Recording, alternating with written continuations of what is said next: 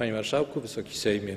Z upoważnienia Senatu Rzeczypospolitej Polskiej przedstawiam zawarty w uchwale Senatu z dnia 6 lipca bieżącego roku projekt ustawy o zmianie ustawy Przepisy wprowadzające ustawę Kodeks wyborczy. Przedkładany Wysokiej Izbie projekt ustawy jest skutkiem orzeczenia Trybunału Konstytucyjnego z dnia 20 lipca roku 2011, sygnatura akt K9 łamane 11, i jednocześnie wykonaniem obowiązku dostosowania systemu prawa do postanowień zawartych w sentencji i uzasadnieniu wyroku Trybunału. W swoim orzeczeniu Trybunał Konstytucyjny uznał za niezgodne z konstytucją przepisy artykułu 16 ust. 1 i 2 ustawy nowelizowanej przez to, że uzależniały reżim prawny wyborów do terminu ich zarządzenia. Oznaczało to, że gdyby prezydent Rzeczypospolitej ogłosił postanowienie o zarządzeniu wyborów do Sejmu i Senatu przed 1 sierpnia 2011 roku, to wybory odbyłyby się według starych ordynacji wyborczych. Natomiast gdyby ogłosił owo postanowienie między 1 a 7 sierpnia, to wybory odbyłyby się już według przepisów nowego kodeksu wyborczego.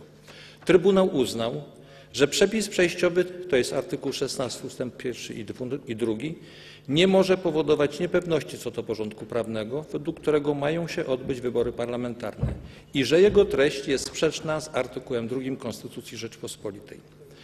Skutkiem tej słusznej konstatacji, a w ślad za tym uchyleniem przepisów artykułu 16 ust. 1 i 2 doszło do powstania luki prawnej, która spowodowała kontrowersje dotyczące reżimu prawnego, jakiemu mają być podporządkowane wybory organów jednostek samorządu terytorialnego. Czy wybory przedterminowe i uzupełniające organów wykonawczych i to organów stanowiących podlegać mają starym ordynacjom wyborczym, czy też nowemu kodeksowi wyborczemu?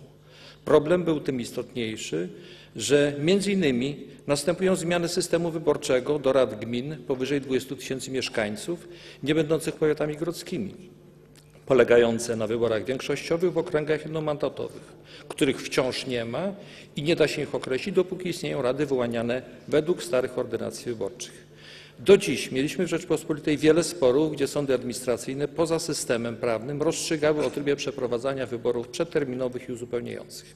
Poza nielicznymi wyjątkami przyjęła się linia orzecznicza uznająca, że do takich wyborów stosuje się przepisy starych ordynacji wyborczych.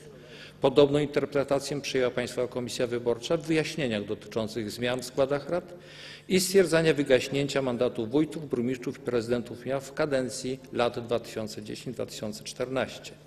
Mimo tego, a także wyroku Naczelnego Sądu Administracyjnego, nie da się ukryć, że żadne z tych działań i przyjętych rozstrzygnięć nie jest normą prawną i nie może być uznawane za powszechnie obowiązujące źródło prawa.